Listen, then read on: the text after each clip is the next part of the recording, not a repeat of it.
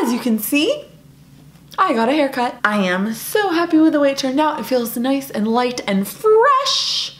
So excited about that. If you want to join the party over on Instagram at EMWILSS, you can follow me there.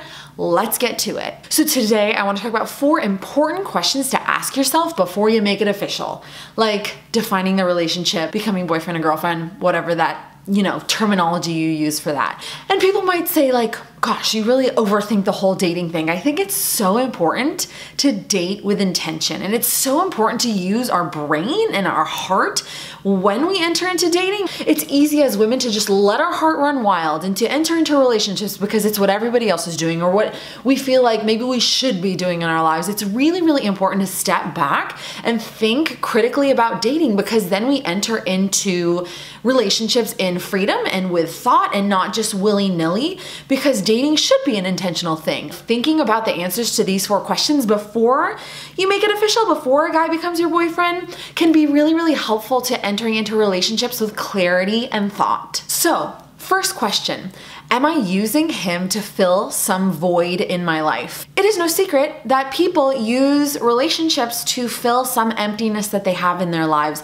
some void that they have in their heart, uh, in their life, whatever that might be. People use relationships to replace this need or this desire that they have in their life. This question really takes some reflection to say, is there something that I'm missing, I'm craving, I'm desiring in my life, and am I using this relationship or entering into this relationship to use that to fill that void in my life, whatever that might be. Perhaps that's even a void that a past relationship left, right? Like you are a woman who's used to having that relationship, and then there's that void in your life of not having a relationship. Maybe when you're used to having a relationship, or you were in a relationship for a very long time and now you don't have one anymore, and you might be entering into a new relationship just to fill that, to replace that area of your life. It's really important to step back and look at the answer to this question. Question number two Am I starting this relationship because I am lonely?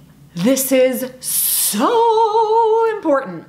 If you are starting a relationship because you are lonely, the relationship is unhealthy from the get go. A relationship should never be approached as a cure for loneliness because then you are entering into a relationship for what you can get out of it, whether that's companionship or intimacy, whatever that loneliness is in your life. You are entering into a relationship for what you can get out of it rather than entering in in a healthy way, uh, in a mutual giving and receiving, which is what a healthy relationship is. Maybe that's just you have loneliness in your life. Maybe it's loneliness again because you had a relationship before and you just feel like, I just want a guy in my life it's not good and it's not healthy. And looking at this question in sincerity, looking at all of these questions in sincerity and with an honest and open heart is really important. Are you entering into this relationship because you're lonely, because you want a guy to text or call or just to hang out with?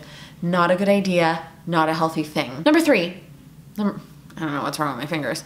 Number three, why do I want to enter into this relationship? Reflecting on our reasons for things, especially in dating, of why I want to enter this into this relationship, helps us to date thoughtfully, and it also helps us to grow in self-awareness. Self-awareness is a really important part of life, and when I reflect on my motives and uh, why I would want to enter into a relationship, it helps me to grow in self-awareness. And when we ask ourselves that question, like, why do I want to enter the, into this relationship? If the answer is, well, just because. Or, well, I don't really know, I just want to. It's not a good enough answer for really trying to date with intention and trying to date in a healthy way as a self-aware confident woman to to really think about the answers to those questions and have proper motives and like substantial motives and substantial reasoning to say, yes, this is why I want to enter into this relationship, whatever that may be for you, is really, really important. It has to be beyond, well, just because, or I don't know. Question number four Am I in a mental, emotional, and spiritually healthy place to date?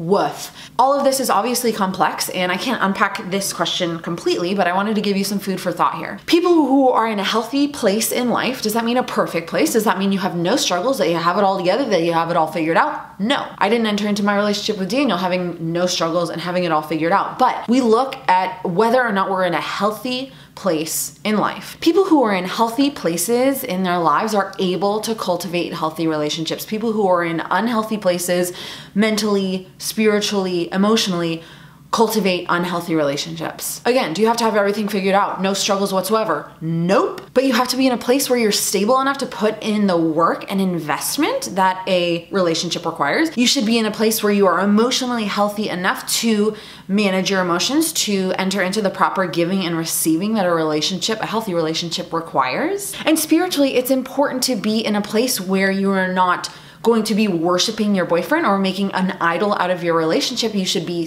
like sound and strong enough spiritually if you're a woman of faith that you worship God, that your relationship is not everything, it's just a facet of your life, that you're spiritually uh, healthy in that way. Your faith guides you in your relationship. Sometimes we, we look introspectively and we're like, ah, I don't know if I am. And sometimes it's important to ask someone who's older than you, maybe a mentor, uh, maybe someone who guides you in your life, to ask them that question, to see what they think about where you are in your life, if you are emotionally, spiritually, uh, mentally ready for a relationship. Maybe it hasn't been long enough since your last relationship ended, and that person can give you some insight and some wisdom to say, you know, emotionally, I think that you still need to like give yourself time to heal from that past relationship.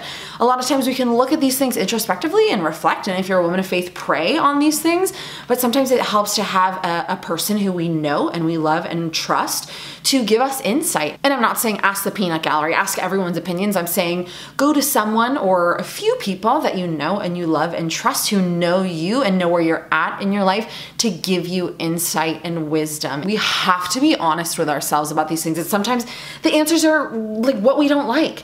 The answer might be yes, I'm like, I want to enter into this relationship with a guy to cure my loneliness. And it's hard to say, then I shouldn't be entering into this relationship. And to be honest, therefore, with that guy about where you're at in your life, it's hard. Dating with intention is hard. It's easier to date willy nilly, but then we get into ourselves into precarious situations and unhealthy situations that aren't good for our hearts and our minds and our souls. So, thinking honestly about these things is really, really important so that we enter into relationships with clarity of thought, with clarity of heart, and intentionality so that we're fair to ourselves, but we're also fair to the men that we date. When we date with intention and we date with a healthy mindset and, and with honesty uh, about our it bears a lot of fruits in our lives both today and in the future. And that's hard to do. But there's a lot of hard decisions that we are called to make in our lives today that bear fruit that sometimes we can't see now, but that we'll see later on.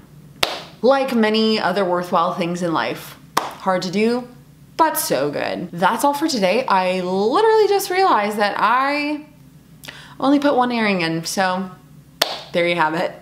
Whatever. I will talk to you soon. Bye!